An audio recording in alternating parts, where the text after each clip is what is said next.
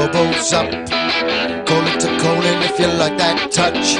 Call it what you will, I really don't care too much.